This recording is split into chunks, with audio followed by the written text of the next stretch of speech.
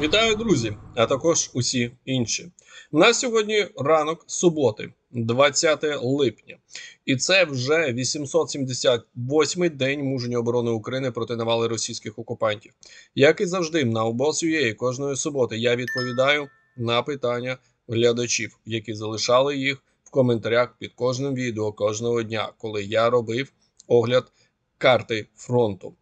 І сьогодні я буду відповідати на 10 найцікавіших та, як, на мій погляд, найгостріших е, питань, а іноді навіть хайпових, як завжди. Обов'язково і їм ми приділимо е, відповідну увагу. І маю надію, що я повністю задовольню е, вашу жагу знати правду. Якщо ви з нею не погоджуєтесь, ну що ж, це ваша позиція. А, Отже, починаємо. Е, перше питання від е, Сергія Воїнова. А чому е, сили оборони дозволяють та не протидіють нарощуванню та створенню нових логістичних шляхів ворога? Мова йде про будівництво та введення в експлуатацію залізниці Ростов-Маріуполь, про по якій вже доставляються військові вантажі, особовий склад, техніка та амуніція. Чого чекаємо?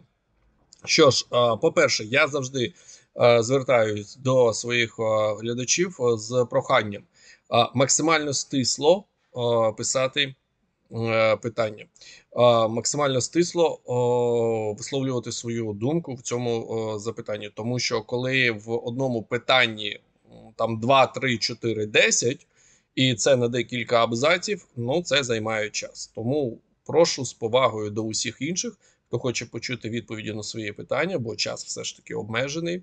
Е, і стисло висловлюватись. Але загально щодо цього питання, то скажу так: залізниця це взагалі дуже складний е, елемент логістичний, щоб е, знищити. Нанесення удару по залізниці це фактично доба, 2-3 доби ремонтних робіт, і вона знову працює. Хіба що тільки нанесення ударів по відповідно вузлам або по о, тієї частині залізниці, яка проходить над природніми перепонами, наприклад, річками або озерами, або морями. Навіть Керченський міст, наприклад, по якому також є залізниця. Ну, це приклад, о, чудовий приклад того, як було нанесено свого часу в 2022 році. По ньому удар з використанням морських дронів, і тоді було пошкоджено одну колію залізничну на саме залізничній частині цього мосту. Досі вона не працює. Ця колія. Працює тільки одна колія в реверсному режимі. Отже, те, що знаходиться на суходолі, е, насправді повністю вивести з ладу дуже важко, особливо з урахуванням того, що ми говоримо про відстані, на яких діють, наприклад, такі засоби ураження, як ракети Атакамс високоточні. Дістатися цієї локації, про яку саме ви пишете в своєму питанні Ростов Маріуполь. Чим Чим дістатися? Storm Shadow, Scalp AG, так можливо, але вирогідність того, що влучання буде саме в колію, ну вона 50 на 50. А навіть якщо і влучить, то це відповідно можна буде виправити за добу, за ну дві доби. Але все ж таки це не буде якимось критичним. Для неї ураженням. Отже, тут і проблематика дуже важко вивести з ладу. З іншого боку, якщо вивести це в системність ураження, то вона може і не працювати взагалі. Наприклад, через волноваху один з таких варіантів, але треба наближення, щоб артилерійським вогнем можна було цілодобово накривати цю колію, і ніхто б її не відновлював. Тобто для нас зараз важлива задача, важлива задача саме по наближенню до цієї логістичної артерії. Уразити то ми можемо, а сенс цю ракету можна використати для більш важливого якоїсь задачі знищення аеродрому чи знищення комплексу протиповітряної оборони С 400 і так далі, і таке інше, або знищення навіть Керченського мосту. Тому прийняття рішення дуже непросте. Друге питання Богдан Щербань. Питання щодо боротьби з розвідувальними БПЛА з допомогою легкомоторної авіації в Україні. Скоріш за все можна наскрести 10-15 технічно справних Л-39 або навіть Л-29.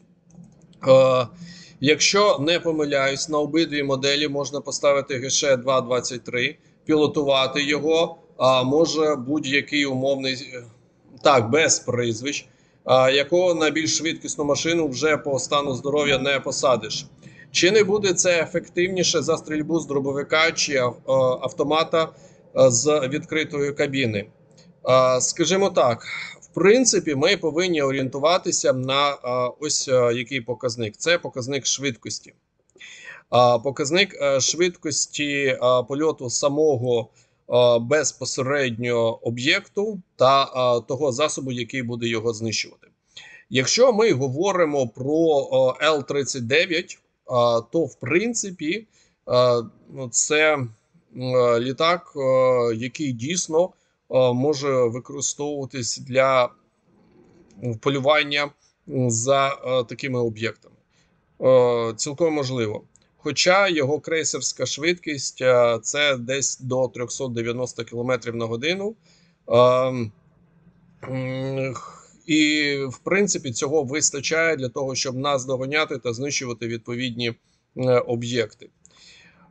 З іншого боку, е, легкомоторна авіація, ті ж самі Як-52, е, вона дозволяє дійсно насправді на дуже о, збалансованій швидкості знищувати такі об'єкти. Так, є багато питань щодо використання дробовика, є багато питань щодо використання інших засобів ураження, але саме Як-52 дозволяє на цій швидкості бути ну фактично на одній висоті, на одній горизонталі з об'єктом знищення Орлан 10. Тому, в принципі, легкомоторна авіація, поршнева авіація, вона все ж таки більш функціонабельна, аніж е, той самий е, Л-39. Хоча і він дійсно його також можна використовувати. Е, З якою ефективністю треба на практиці це все саме дивитися. Окрім Л-39, е, до речі, можна говорити і про інші засоби ураження. Ті ж самі, наприклад, або Супер Токано, турбогвинтові штурмовики, Бронко, навіть ударні гелікоптери Viper. Але про них не говорять. Тобто тут питання саме ось у чому.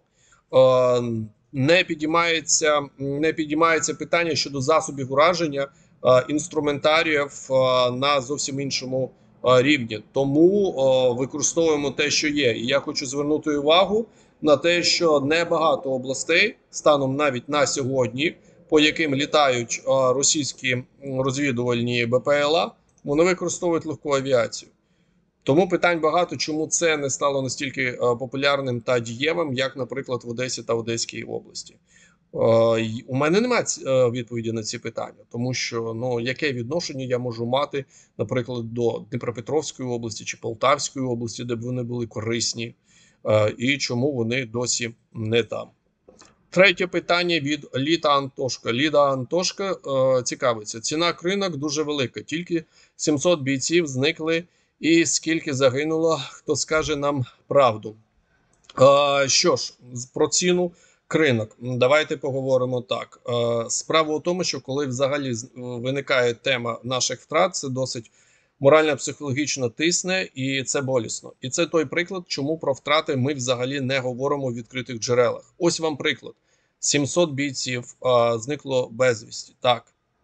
І не тільки було ще евакуйовано 250 тіл. Тобто, фактично, скажімо так, умовно кажучи, десь приблизно 1050 е, військових загинуло в кринках. А при цьому ну, це фактично 4 е, людини на добу, 4 військових на добу. Ось тому і не підіймаються питання втрат, тому що коли воно підіймається, починаються маніпуляції та хайп. Зараз я вам скажу, що це війна, і що на війні неможливо перемогти, не втрачаючи людей. Нема такої війни, де можна перемогти, не втрачаючи особовий склад. Е, Я можу сказати, що кожне це життя, яке було залишено в кринках, воно зберегло 10, 100 та навіть тисячу інших життів, як військових, так і цивільних. Як саме Е, я приводив вже приклад. Е, Кринки вони продовжують навіть зараз, коли звідти були виведені наші підрозділи, вони продовжують сковувати досить серйозний потенціал російських окупаційних військ на лівому березі. Фактично, група військ Дніпро залежить саме від кринок досі. Е, вони намагаються їх е, утримувати в форматі таких клещів, вони намагаються їх контролювати. А якби цього не відбувалося, група військ Дніпро вона відправилась би в якомусь іншому напрямку, там тисяч 10, 20, 30, 40, 60. Група військ Дніпро була реформована, підсилена з 23-го року і перетворилася з угруповання в 64 тисячі до 120 тисяч. Давайте уявимо собі, що з цього угруповання 50 тисяч особового складу не займались би е, кринками та взагалі лівим берегом, а відправились би в Білгородську область для того, щоб е, розпочати в складі групи військ Північ наступ на Харків. Тоді, коли б мене запитували, ось там вже сконцентровано 150 тисяч. Ну тому що е, в принципі група військ Північ на момент е, початку наступальної кампанії 10 травня на Харківщині була 53 тисячі. Потім збільшилось до 60 та більше. Отже, якби мене тоді запитали, а там 120 тисяч угруповування, це загроза для Харкова? Так, це загроза вже для Харкова. Вони б могли захопити Вовчанськ, захопити Липці. Вони б вийшли на околиці Харкова, розпочали б міські бої. Гинули б військові і цивільні в великій кількості. От що таке ціна ринок. Кожне це життя, знову ж таки повторюю, воно врятувало десятки, сотні, там, можливо, і навіть тисячу інших життів, як військових, так і цивільних. Отже, е, це ціна війни. І ви багато ще про чого не знаєте, від чого, мабуть, у вас, можливо, мозок взагалі вибухнув.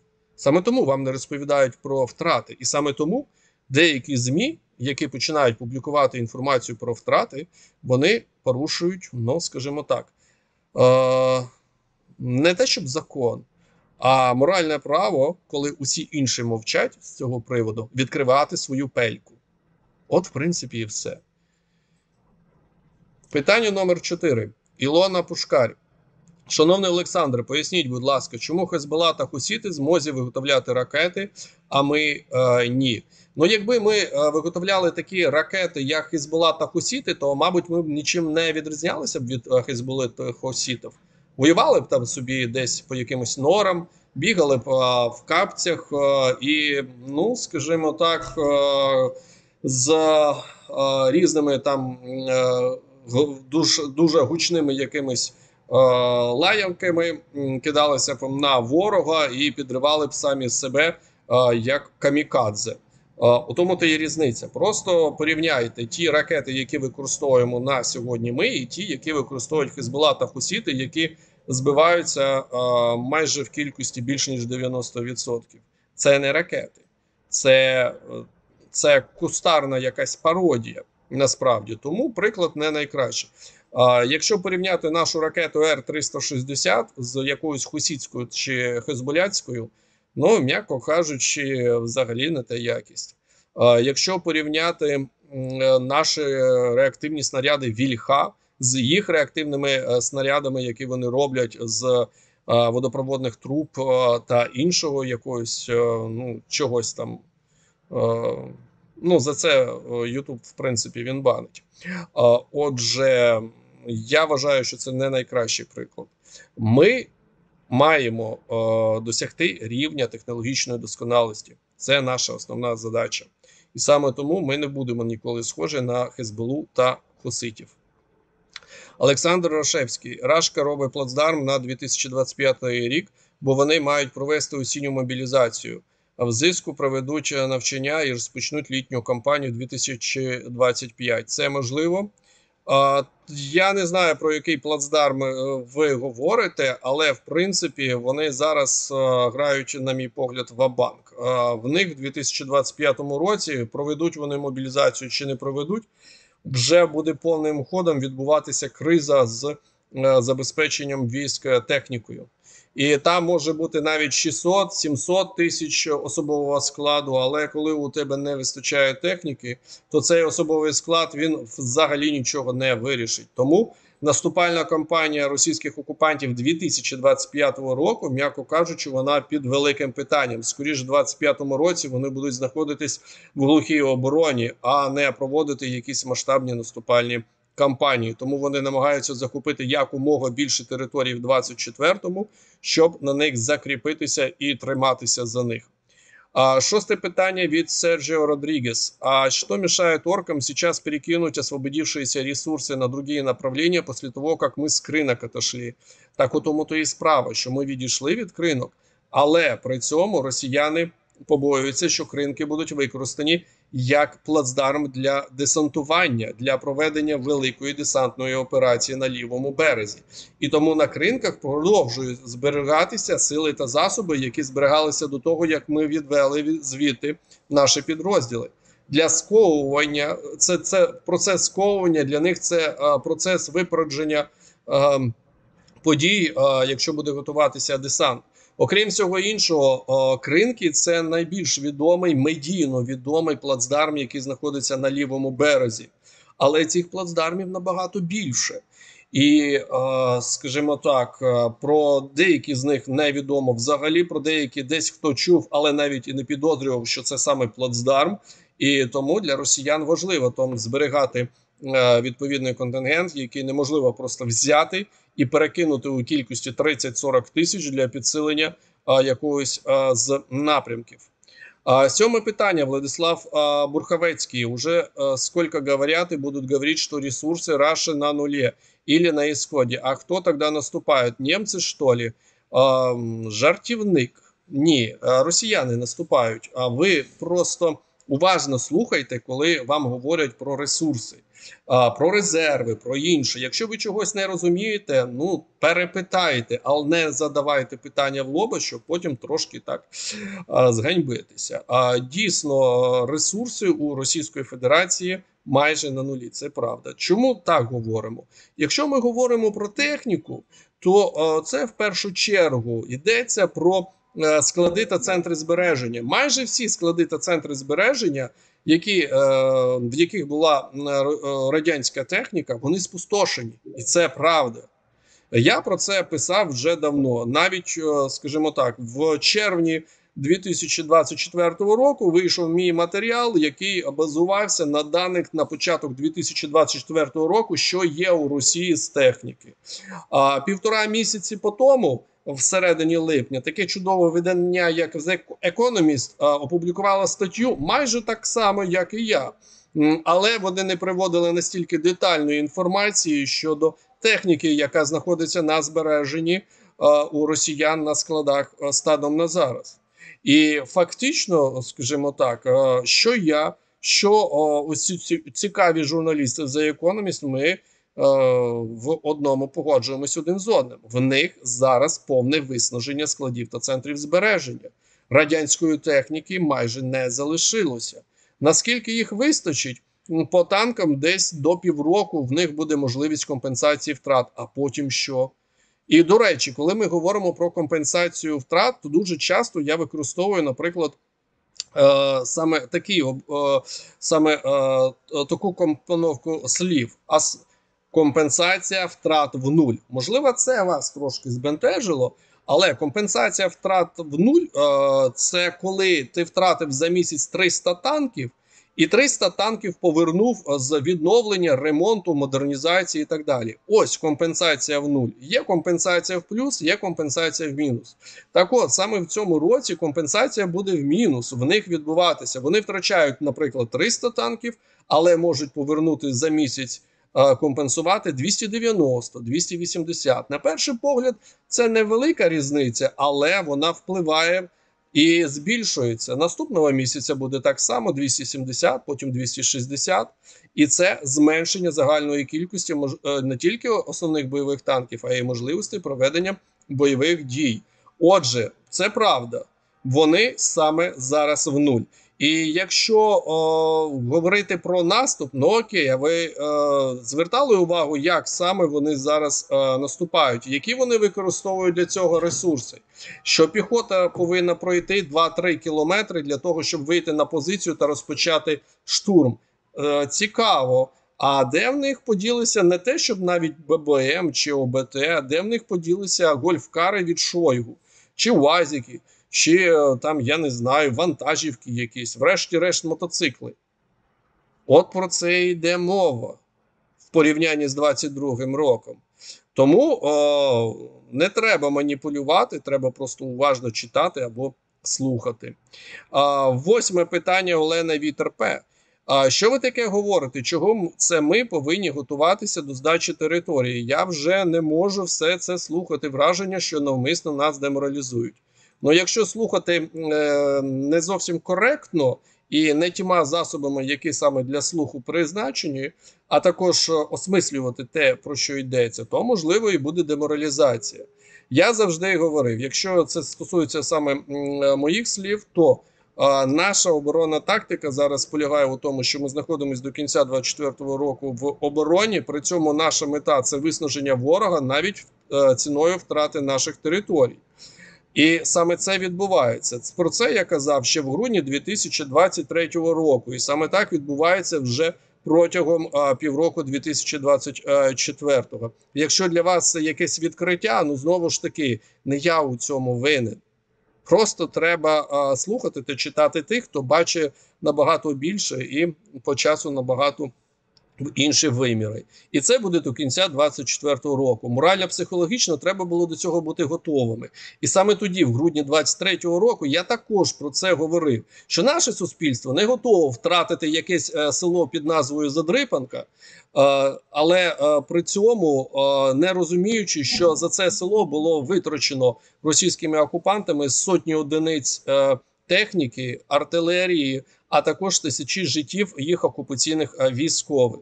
Тобто е, треба все ж таки це розуміти, на чому ми е, розмінюємось. І не треба згадувати Авдіївку, не треба згадувати Очеретина, не треба згадувати Бахмут.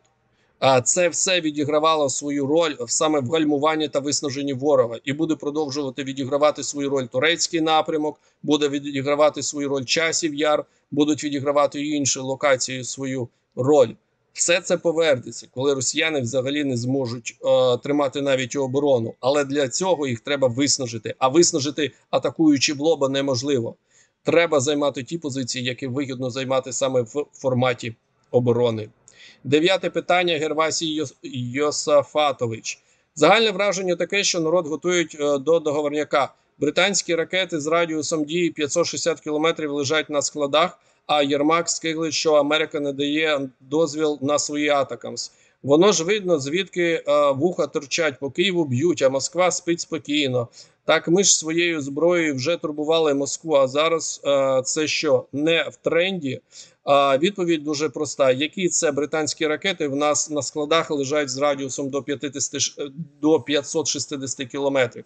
Я неодноразово в своїх матеріалах, а також в своїх відео е, звертав увагу, що ми користуємось ракетами з радіусом 300 кілометрів. Те, що Storm Shadow без G має можливість летіти на таку відстань, це не говорить, що ми маємо право їх так використовувати, тому що загальносвітові вимоги до експорту ракетної зброї обмежені е, 300 кілометрами. Ми ніколи не отримуємо ракету, яка буде летіти е, на більш ніж 300 кілометрів. Це загальносвітові вимоги по експорту ракетної зброї. Тому усі фантазії про 560 кілометрів або про Тамагавк – це фантазії, які ви можете залишити виключно з вами. Отже, ще раз говорю: е, прошу звертати увагу на саму доцільність е, таких питань.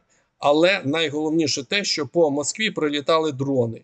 І дрони зараз прилітають не по Москві, а по НПЗ. Дрони зараз е, прилітають по енергетичній інфраструктурі. Дрони зараз прилітають по аеродромам. Тобто цікаво, що для вас важливіше, щоб там якийсь е, москаль е, в Москві е, не спав всю ніч. Чи дійсно знищений НПЗ, чи знищений енергооб'єкт, чи- знищений об'єкт та літак Су-34 фронтовий бомбардувальник?